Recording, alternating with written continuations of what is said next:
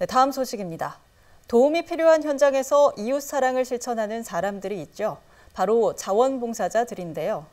인천에선 74만여 명의 자원봉사자들이 활동을 하고 있는데 이들을 위한 축제장이 4년 만에 열렸습니다.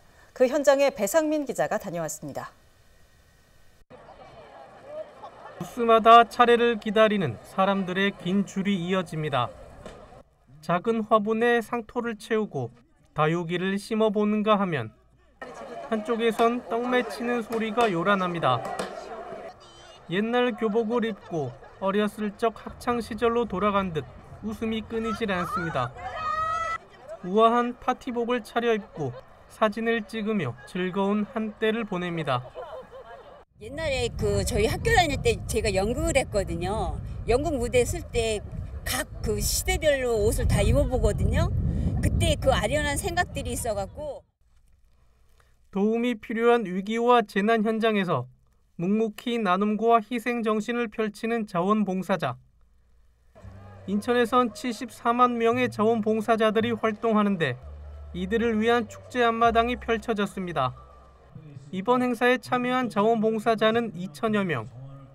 코로나 이후 오랜만에 야외에서 가지는 행사에 사람들의 표정은 밝습니다.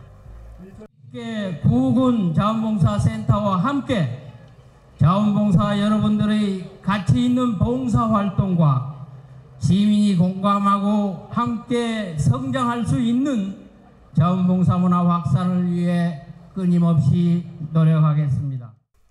인천시는 자원봉사 활성화를 위해 지원을 아끼지 않겠다고 밝혔습니다. 어려운 그늘진 부분에 여러분들이 손길이 미치면서 따뜻한 사회를 만들어 가고 있기 때문에 저는 여러분들이야말로 이 시대의 진정한 영웅이라고 생각되고 그래서도 바로 여러분들이 이러한 마음을 갖고 활동할 수 있도록 하는데 더 행정력을 집중시켜 나가겠다는 말씀을 드립니다.